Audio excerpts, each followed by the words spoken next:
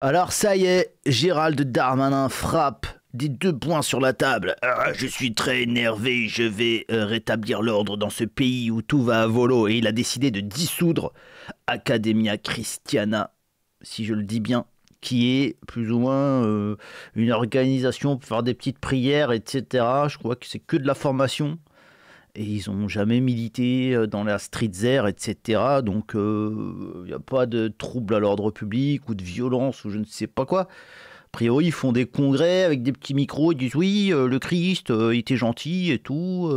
voilà. Si j'ai bien compris, hein. Si j'ai bien compris, hein. A priori, ils ont toujours leur compte Twitter, Academia Christiana. On va regarder tout ça, les copains, on va essayer de comprendre où en est la France c'est de plus en plus compliqué. Hein. C'est-à-dire que d'un côté, tu as le CCIF qui se reforme, etc., avec des milliards du Qatar et tout, et euh, trois pécores euh, dans une salle des fêtes euh, en train de dire oui, le Christ, quand même, il avait un message gentil, et puis en même temps ferme, quand même. Hein. Hein, d'accord, les marchands du temple, ils ont goûté à son courroux, quand même. Alors, hé, le Christ On est vraiment de la merde. Franchement, on est de la merde. On est de la merde. A priori, si j'ai bien compris, les mecs qui sont allés à Crépole pour planter Thomas, ils sont tous dehors là. Ils doivent être tous dehors sous contrôle judiciaire, la plupart en tout cas. Alors que les mecs qui sont partis manifester, ils ont pris un enferme. ah, c'est incroyable.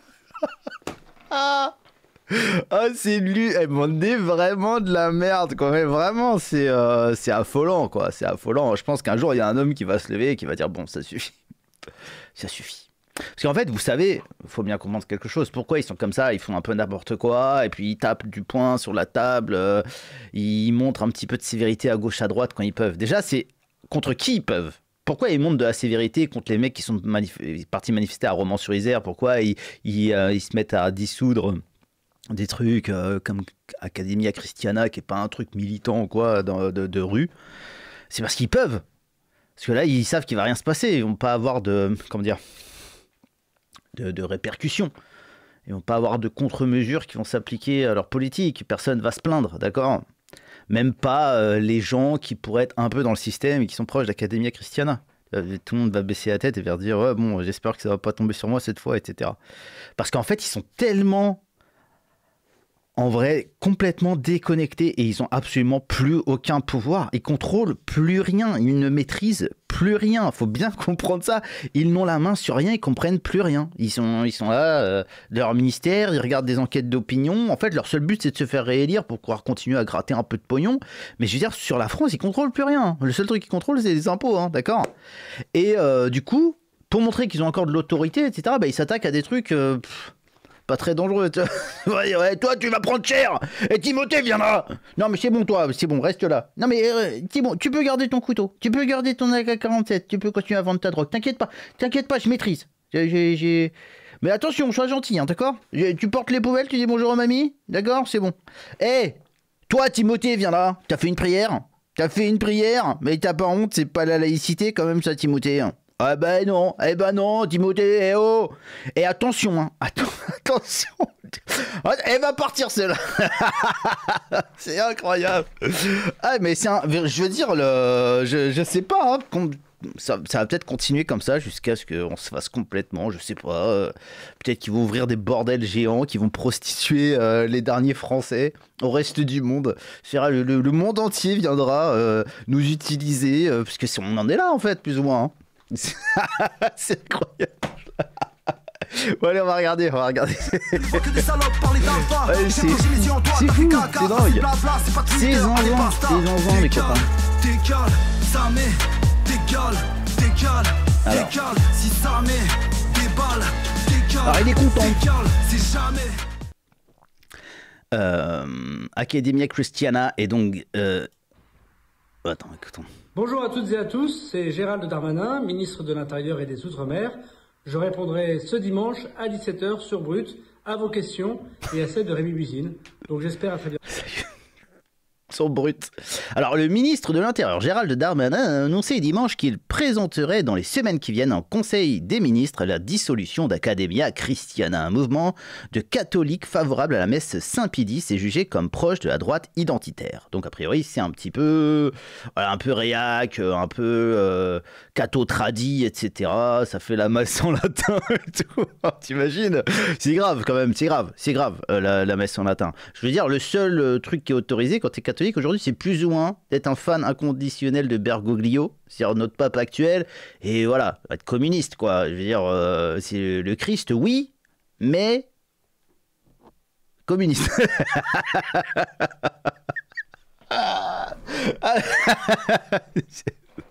C'est lunaire. La réaction d'Academia Christiana à cette annonce. Academia Christiana est un institut de formation qui invite les jeunes à s'engager au service du bien commun. Depuis 2013, plus de 2000 jeunes sont passés par nos universités d'été et séances de formation. Eh bah bravo, on sait ce qu'ils sont devenus. Maintenant, ils font le coup de poing dans la street avec euh, les gentils. Et ça, c'est pas bien. Aujourd'hui, ils sont partout engagés pour leur pays à travers leur métier des associations en tant qu'élus locaux, enseignants ou artisans. D'autre part, notre rôle est de transformer en force créatrice la colère et le désespoir d'une jeunesse orpheline. Nous croyons qu'il est plus utile de proposer des solutions euh, que d'en rester à des constats pessimistes. C'est bien. Nous invitons la jeunesse à aimer son pays et son histoire, à fonder des foyers solides, à retrouver une vie spirituelle vivante, à perpétuer nos traditions, à mener une vie saine et à cultiver le sens de l'effort. Eh bien, les amis, si vous êtes catholique, moi je vous invite à, vous rapprocher d'Academia Christiana, enfin tant que c'est encore possible, tant que ça n'a pas été dissous. Je suis désolé, mais c'est tellement lunaire tout ça. C'est tellement lunaire. La tentative. Tu sais, il y a plus ou moins des associations euh, pédophiles euh, reconnues, euh, genre comme le Parti Socialiste par exemple. Et enfin, il y a des trucs comme ça, c'est complètement dingue. Il y a, y a, de tout. En fait, il y a des associations qui aident, par exemple, l'installation des migrants sur le territoire qui sont subventionnés. C'est-à-dire que normalement, c'est illégal de, de, de, de, participer à la commission d'un délit ou de le soutenir, ou d'être associé, d'être complice, etc. Mais là, ils sont carrément subventionnés, en fait. des milliards Des centaines de milliards Des centaines de milliards La Liga, ils font des prières. Non, c'est trop. C'est tout ça suffit. Ça suffit. Eh, arrête, on va vous mettre en prison. Bientôt des camps de rééducation pour les catholiques, hein, peut-être, je sais pas. Enfin, les catholiques qui sont pas encore communistes. Hein, D'accord. Ok. En voulant nous dissoudre, le gouvernement s'en prend une fois de plus aux catholiques comme des citoyens de seconde zone. Ils sont considérés comme des citoyens de seconde zone. Comprenez bien qu'aujourd'hui, le gouvernement français a décidé d'interdire toute pensée ou réflexion en dehors de l'idéologie laïciste et matérialiste. À l'heure où les coups de couteau fusent matin, midi et soir, la priorité de la République est de dissoudre un institut de formation dont les cadres sont tous d'honnêtes pères et mères de famille. Euh, oui, et alors eh oh, ça suffit, on fait ce qu'on veut, nous, c'est nous la République, d'accord? La République, c'est Gérald, voilà, c'est Gérald. quand un gouvernement entrave la liberté d'association et d'expression, quand tout ce qui est jugé contraire à l'idéologie dominante est menacé de censure, quand on condamne à la mort sociale les réfractaires, c'est bien ce qu'on appelle un système totalitaire. N'oubliez pas que euh, c'est par la peur que le credo progressiste se maintient au pouvoir. Academia Christiana ira devant les tribunaux pour contester cette procédure absurde qui manifeste une fois de plus que nous sommes sortis de l'état de droit. Donc a priori, ils vont avoir recours au Conseil constitutionnel, si c'est bien ça qu'avait euh, annulé justement la, la, la, la, dissolution, hmm. si ça se dit, euh, de, du truc écolo là. C'est-à-dire que Gérald, il avait voulu euh, dissoudre un truc écolo, je sais pas quoi, là, qui, qui, se tapait avec les CRS au milieu des champs, là, dans la méga bassine, je sais pas quoi. Et euh, le Conseil d'État a dit non, ils sont gentils. Ils sont gentils. Ouais, ils sont, ils, sont, ils sont pour tous les trucs qui vont bien. Juste des fois, ils jettent un petit peu des cailloux et des, et des grenades artisanales sur les, sur les CRS, mais sinon, ça va, ils sont gentils. Alors qu'à Academia Christiana, ils jettent pas des cailloux sur les CRS, mais ils sont méchants. Donc c'est plus grave d'être méchant, en fait, je crois. Donc je sais pas si ça va être euh, annulé, cette procédure ou pas, on verra bien. Ok. Mais en fait, c'est surtout un effet d'annonce pour essayer de faire du en même temps. C'est-à-dire qu'ils euh, ont beaucoup tapé sur quoi ça, ces, derniers temps? Sur rien, ils tapent sur rien. Ils tapent sur rien, en vérité. Enfin, il y y a eu la grosse sauce politique autour du soutien inconditionnel à Gaza de la LFI. et donc de la dénonciation d'Israël, qui est un petit peu mal perçue en France aujourd'hui, d'accord? Et du coup, euh, ils ont beaucoup tapé sur la LFI, donc là, ils équilibrent, ils trouvent, ils trouvent tous les moyens de taper sur la droite, en fait. Et donc, ils prennent des trucs comme ça, random. Ah oui, ils sont de droite, eux? Ah ils font des trucs? Ils font des trucs. Ils s'organisent, ils font des trucs ensemble. Ah, on va les niquer, ah, on va les baiser. On va les, défoncer, mec. Vas-y, on s'en fout, il n'y a pas de dossier, on s'en fout. On va juste dire à la télé, au pire, euh, ça passera pas après. C'est-à-dire que là, ça fait le buzz, tout le monde parle de ça. Puis après, si c'est annulé, ça fera une ligne dans, un journal local et tout le monde s'en foutra. D'accord? Mais l'annonce sera passée, les boomers auront été rassurés. Il s'en prend à l'extrême droite et à l'extrême gauche. Et en gros, ils retiennent tous ces extrêmes très très méchants qui pourraient bouleverser le statu quo. Parce que les vieux, en plus d'avoir créé ce système, donc de le valider, hein, les boomers, ils, ont créé ce système dans lequel on vit aujourd'hui. Ils sont très très bien, ça, se passe très très bien. Ils gagnent plus que les actifs, euh, ils ont un capital absolument démesuré, etc. Ils vivent leur meilleure vie, d'accord? Et puis ils votent massivement pour Macron. Surtout aussi, ils ont absolument peur du changement, les vieux. Les vieux, ils sont terrorisés par l'idée de changement. C'est le principe du vieux, en fait. Le vieux, il veut rester chez lui, il veut pas bouger, il veut sa petite, euh, ses petites habitudes, il veut son petit euh, Derrick ou l'équivalent euh, contemporain. Voilà, vous voyez le truc. Le vieux, il ne veut pas que ça change.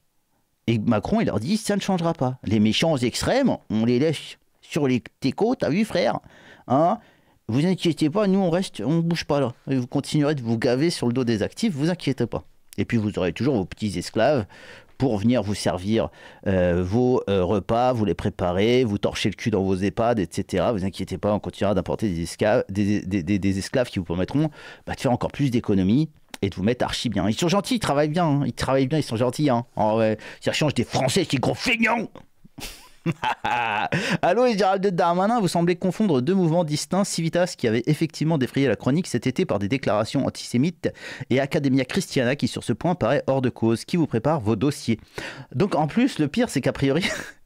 ce, gros, ce, génie de Gérald Darmanin confondrait Academia Christiana et Civitas. C'est vrai que Civitas, c'est un mouvement un petit peu plus. Euh, par exemple, moi, j'ai déjà fréquenté des, sorte de congrès nationaux, bah, il y avait Civitas. Et Civitas, ils sont là dans les trucs vraiment hardcore, d'ultra méga droite. Civitas, ils sont là, ils tiennent le pavé. Hein. Ils sont là systématiquement. Il y a toujours le gars là, il est très gentil d'ailleurs, le, patron de Civitas.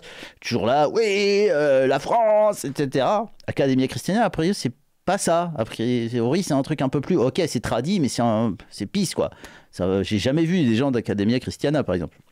Le ministre Gérald Darmanin mentionne des faits totalement imaginaires. Cela montre que le dossier est à la fois vide et motivé par de vieilles rengaines idéologiques. Cette affaire est de plus en plus absurde. Cet amateurisme pourrait lui coûter une condamnation pour diffamation. Ah, je, sais pas. Dupont-Moretti, il s'en est mis plein les poches, il a été innocenté. Parce qu'en fait, il faut bien comprendre que les politiques, ils sont pas. Euh, sont pas jugés par les mêmes tribunaux que les autres gens. En fait, les politiques, ils sont jugés par des tribunaux constitués d'autres politiques. Par exemple, euh, Dupont-Moretti, il y avait Obodo dans, le jury qui l'a jugé pour son histoire des détournements de fonds, prise d'intérêt, je sais pas quoi. Il y avait Obono et plein d'autres députés, des parlementaires, des sénateurs, je sais pas quoi, d'accord Voilà. Ils sont jugés par d'autres politiques. Alors, je peux vous dire que les politiques, en eux, ils disent Eh, t'as déconné, euh, Eric Eh, t'as déconné, hein Mais ça ira pour cette fois. Non, mais prends, moins la prochaine fois. Tu es con, Eric, ou quoi? Il y a 10 millions d'un coup, ça se voit un petit peu quand même. ouais, qu'est-ce qu'il nous a dit, Gérald là? Ah, Gérald aux fraises, putain. Vous avez annoncé hier, euh, Gérald Darmanin, la dissolution du mouvement Academia Christiana, présenté comme un mouvement catholique euh, traditionnaliste. Est-ce que vous pouvez nous dire ce matin quelles menaces ils représentent? Est-ce qu'ils avaient un projet de, violence qui était euh, prévu? Alors, vous l'avez vu cet été, hein, ils ont notamment euh, fait l'apologie de l'antisémitisme, puisque là, vos émissions de télévision. Ah ouais, ouais, d'accord. Bah, c'était. Euh, je sais plus comment il s'appelle, mais c'est un mec assez connu euh, qui, passait beaucoup sur ER à une époque et qui est chez Civitas, un cateau énervé, d'accord, qui effectivement a dit des trucs antisèmes. Et d'ailleurs, ça a fait un sacré bazar et ça a provoqué, ça a débouché sur la dissolution de Civitas, ok? Mais là, en fait, non, Academia Christiana, non, il n'y a aucune sauce antisème sur leur dos, quoi. Donc, euh, le mec est à la rue, quoi. Franchement, c'est cauchemardesque. C'est cauchemardesque. Ils savent plus quoi faire. C'est de la politique pure, c'est de la com pure. Comme je vous le dis, pour équilibrer, parce qu'en gros, à force de taper sur l'extrême gauche et que, euh, en gros, Marine Le Pen ne dise rien, ne bouge pas, etc., ce qui est une bonne stratégie en fin de compte, et euh, Jordan Bardella qui continue à jouer le beau gosse et tout, bah, l'extrême droite monte, enfin la droite tout simplement monte un peu trop dans les sondages, etc. Et donc là, ils se disent, oh, regardez, ils sont méchants et ils trouvent des trucs, euh, des sauces quoi, à mettre, ils, tartinent un peu de sauce et on verra bien ce qui se passera derrière. On en a beaucoup parlé avec euh, des personnes qui considéraient voilà, que les juifs n'étaient pas évidemment des hommes comme les autres. Une très grande, un très grand soutien à la collaboration au maréchal Pétain. Voilà, donc c'est pas une association qui correspond, nous semble-t-il, aux valeurs de la République. On va la dissoudre au Conseil des ministres et puis le Conseil d'État donnera son, son... Ouais, bon, il dit n'importe quoi. Bah oui, pourquoi il l'attaque pas en diffamation? Je comprends pas. Academia Christiana, attaquez-le en diffamation, qu'est-ce que vous en avez à foutre en fait? Après, peut-être que personne va prendre votre plainte.